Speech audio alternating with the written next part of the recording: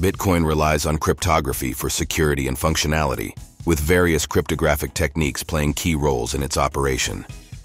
Here's a breakdown of the cryptography behind BTC. 1. Public key cryptography. Bitcoin uses public key cryptography to generate pairs of public and private keys. Public keys are used to generate addresses, while private keys are used to sign transactions and prove ownership of Bitcoin. 2.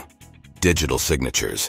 When a Bitcoin transaction is created, the sender uses their private key to create a digital signature, which serves as proof of ownership and authorization. The recipient can verify the signature using the sender's public key, ensuring the integrity and authenticity of the transaction. 3. Hash functions. Bitcoin employs cryptographic hash functions, such as SHA-256, to generate unique identifiers for blocks and transactions. These hash functions produce fixed-length output strings, making it computationally infeasible to reverse engineer the original input data. 4. Merkle trees.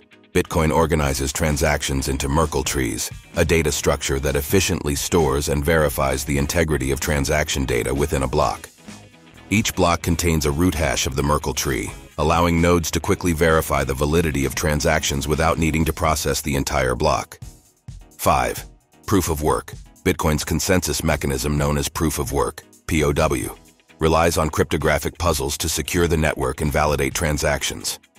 Miners compete to solve these puzzles, requiring substantial computational power to find a valid solution.